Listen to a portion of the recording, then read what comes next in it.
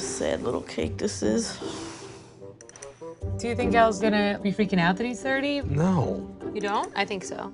I'm 30 already for two months, and I love it. Yeah, because you're married. I was fortunate enough to find you, and you were okay with it.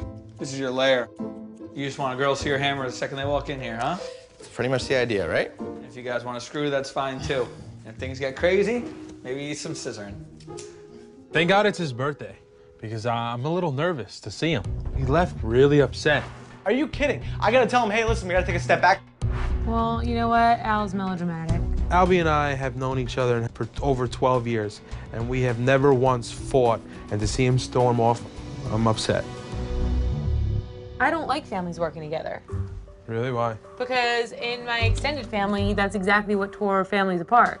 And I would rather it not happen with my brother and my husband. That's too important to me to risk for money. I need to talk to Dad. I think he's gonna kill me. I spoke to Mom. Mom gave me the whole like dance like no one's watching speech, you know? She's like, fly! I think that you have to be comfortable with the decision you're making for you first. And you are. One day you're gonna wake up and you're gonna be married and have kids, and I don't ever wanna be the person that says I should have done this or I should have done that. No. Gonna feel him out tonight.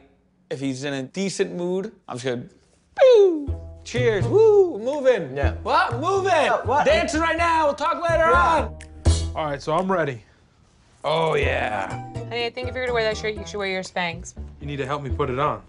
Spanx. My wife turned them on to me, right? You onto them. Turn you onto them. Okay. Hold it down. Yes! Keeps everything nice and tight. Wow, you just lost like 30 pounds. How good did I look? It's so sad.